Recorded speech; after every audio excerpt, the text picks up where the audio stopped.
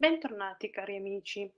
Oggi parleremo di un'altra mia pubblicazione su Landscape Photography Magazine inerente l'Oasi Zegna e Piemonte. Innanzitutto vi auguro una buona domenica e spero stiate tutti bene. Questa pubblicazione riguarda un assignment Cloudy Days, sempre indetto nel mese di settembre da questa rivista americana con cui ultimamente collaboro. Ma vediamo nel dettaglio di cosa si tratta.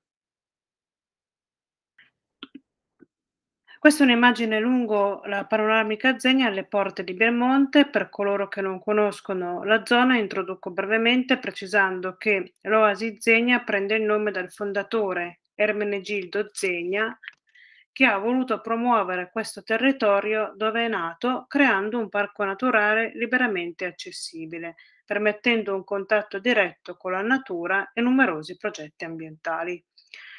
Questa zona, come vedete qui descritta, comprende l'Alpe Margosio, da dove si può ammirare lo splendore del Monte Rosa e la cima del Cervino degustando prodotti tipici locali. Purtroppo però le condizioni meteo inizialmente davano, le previsioni davano una, una bellissima giornata che però purtroppo si è eh, offuscata subito e quindi non abbiamo potuto godere di questa vista, ma eh, tornerò ma nel più breve tempo possibile e spero proprio di riuscire a fotografare in giornate meravigliose. Sicuramente capiteranno.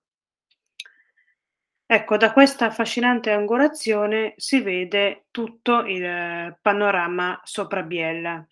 Certo ci è dispiaciuto molto aver trascorso un pomeriggio così uggioso, ma resta comunque il fascino del mistero in una panoramica tutta da riscoprire. Ecco, non c'è soltanto una parte scientifica, naturalistica da andare a riscoprire, ma anche comunque una parte culturale che merita sicuramente una breve visita. Vi faccio subito vedere questi affreschi molto belli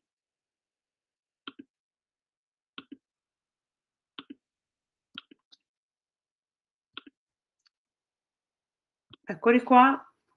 Allora, qui ho messo tutto il percorso della panoramica Zegna in generale, c'erano anche i rododendri, quell'arrivo a Piemonte, ecco qui questi punti di interesse artistico, la chiesetta alpina e la chiesa di Croce Mosso, appartenente al vicariato della località Mosso Santa Maria, intitolata, come qui vedete scritto, a Sant'Antonio Abate a San Bernardo di Mentone.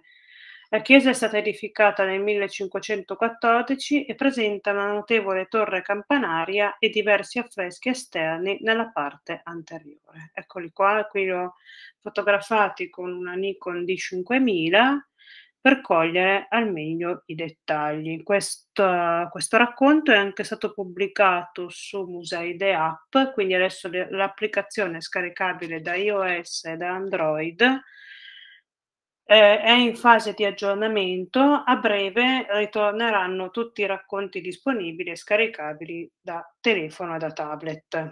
Quindi come vedete anche in una giornata di scarsa luce si riesce a cogliere la bellezza della natura e dell'arte scoprendovi piccoli luoghi sugge- suggestivi ma ricchi di spiritualità.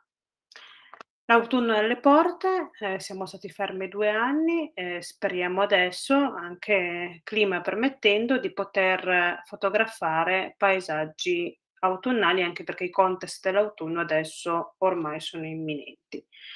Come prossimi appuntamenti eh, dovrei andare sabato 2 a Issogna per la Desarpa, l'appuntamento che per fortuna si è riusciti a, a confermare. Poi ci saranno le giornate d'autunno a Gressonei con Castel Savoia e a Plas Moulin in Valpellin, in questa diga bellissima che conduce, un, c'è un sentiero che conduce al rifugio Prayer ed è, eh, voglio proprio fotografarla per cogliere in pieno il paesaggio autunnale, poi anche Cervigna non può mancare con la maestosità del Cervino davanti ai colori, alle tonalità giallo-arancioni. Che dire, speriamo si possa fare tutto questo. Nel frattempo vi auguro ancora una buona domenica, vi ringrazio della vostra attenzione e vi mando un grande abbraccio. Ciao.